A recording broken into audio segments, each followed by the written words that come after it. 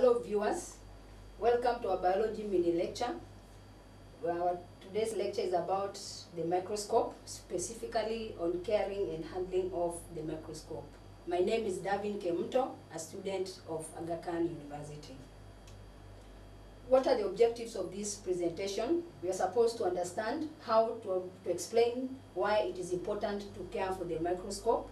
Number two, we are supposed to demonstrate how we should care and handle the microscope. A very important question to ask ourselves, why should we care for this microscope? Why should we handle them carefully? One, these microscopes normally they are expensive to buy, and number two, they're expensive to repair. And sometimes you may not get the, the specific part that has broken for the purpose of repairing. And then you're supposed to care for the microscope because you want to increase the efficiency. Efficiency means when you're observing a specimen on the microscope, there's that exact feature that you want to see. And then lastly, we care for the microscope so that we can extend the, the, the lifespan, the durability of this microscope. One, the better or the, the better we take care of them, the better or the longer they'll stay in our labs. So this is the diagram illustrating parts of the microscope and it's exactly what we are having here. And then how we handle the microscope and care now it's based on the parts of the microscope. The way we care for this handle or the way we uh, care for the objective lenses is not the same. So what are these good practices? I'm calling them good practices because they're the ones that are, that's what we're going to do when you're handling this microscope. So the first thing, when you're handling the microscope, we're supposed to use both hands. So one hand will be at the base and the other one at the arm. So this is our arm and this is our base. So always when you're handling the microscope, it will be held like this. Whether you're taking it to the cupboard or you're taking it to the bench for use. And when you're placing on the bench, ensure that they are placed at the center of the bench, not at the edge of the bench because it can easily slide off the bench. And then you're supposed, uh, the revolving nose piece and the lowest power objective lenses. These are the objective power lenses. When you are using the microscope, you've used your microscope, you finished whatever you're observing. When you're turning it, don't turn the objective lenses anti-clockwise. Turn them clockwise like this until you hear a clicking sound. So you just know that you are, you've turned it clockwise or that's the correct position after hearing that clicking sound. Number two, after you finished observing your specimen, if you look at the sizes or the lengths of these objective lenses, they are of different heights. So when you're going to store, you don't store your microscope when it is on this size of uh, the lens. You turn it again until that small lens, objective lens, is at that position. Why are you doing that?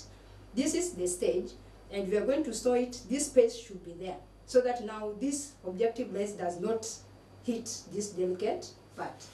And then number next, we're supposed to clean the microscope. We're supposed to use a smooth paper or a very soft cloth.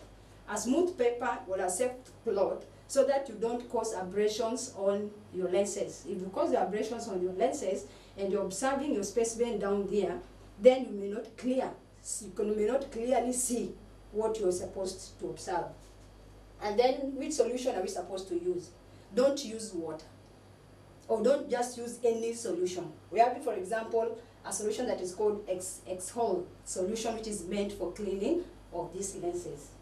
And then you're supposed to disconnect. Now, when you're using the microscope, there are those microscopes that use light or they use electricity. So do not pull off the cable. You're supposed to switch off the cable and then now you can work or stop working on the microscope.